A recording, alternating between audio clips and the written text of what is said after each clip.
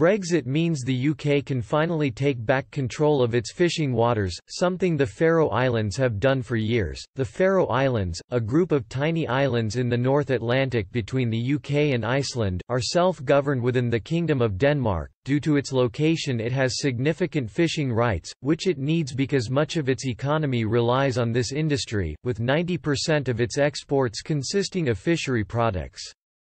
Unlike the rest of Denmark, it is not part of the EU, as explicitly asserted by both Rome treaties. Indeed, the Faroe Islands decided not to join the European Economic Community (EEC), the precursor to the EU, specifically because of fishing. In this way, it split from the rest of Denmark in a hugely significant fashion. The relations between the Faroe Islands and the EU are governed by a Fisheries Agreement 1977 and a Fair Trade Agreement 19. The Faroe Islands' main reason for remaining outside the EU is disagreements about the Common Fisheries Policy, a form of which dates back to 1970, but was fully adopted in 1983. This policy would mean they would have to give away large fish quotas in their own waters to other EU countries. This eerily echoes the arguments of Brexiteers, who firmly reject the EU's fishing quotas that have prevented UK fishermen getting the most out of fish stocks within British limits. It is also argued that the Faroe Islands do not want decisions on fishing to be made so far away, as they would have little say in the EU due to their small population. They fear they would disappear into the vastness of the EU similar to the fate of the Shetland Islands. Documents from 1972 unearthed at the National Archives by Express, have revealed that the Faroe Islands were wary of the bloc's intentions regarding fishing in the early 70s and were promoting, for example, there was pressure from the Republican Party in the Faroe Islands to extend its fishing limits from 12 miles to 70 miles, partly in response to Iceland extending its limits to 50 miles. Crucially, it would not let EEC countries fish within these limits, which seriously worried the British government. This is because the UK entered the EEC in 1973 after Prime Minister Edward Heath signed the accession treaty a year before.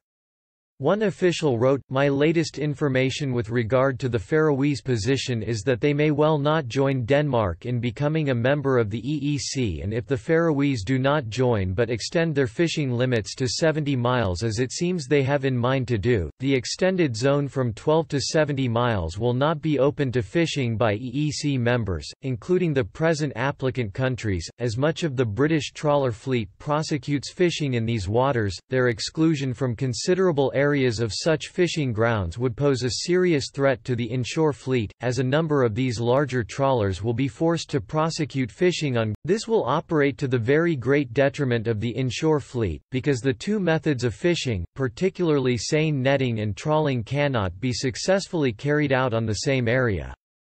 The Faroe Islands extending its limits to 70 miles would mean it would include plentiful cod fishing grounds and would preclude them from entering the EEC, a double win from the Republicans' point of view. However, other parties rejected the idea because of the damage it would do to Faroese fishermen if other countries followed suit and extended their limits. However, British officials were concerned that if the Faroe Islands extended its limits to 70 miles, they would not be open to fishing from countries in the EEC, which would damage British fishing interests. However, they did acknowledge that Faroese and Danish interests were often in conflict when it came to fishing, perhaps the reason, since then, the Faroe Islands have kept a distance from the EU, claiming it would only consider membership if Norway and Iceland also joined.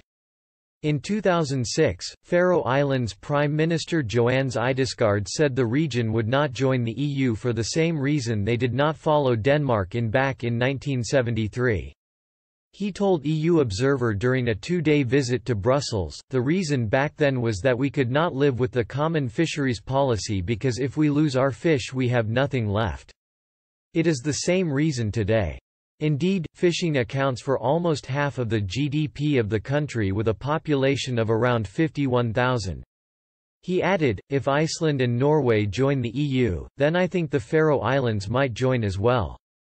But right now, there are no signs that they will become like the Faroe Islands, these two European countries that are next to large bodies of water with plentiful fish stocks have opted out of sharing them with others.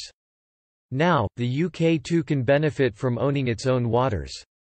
The Faroe Islands also benefits from not being tied to EU rules, regulations and quotas. For example, when the EU and Russia imposed reciprocal trade sanctions on each other during the war in Donbass in 2014, the Faroe Islands began exporting large amounts of fresh salmon to Russia, filling the gap and boosting its economy. Similarly, the UK can now benefit from making its own trade decisions.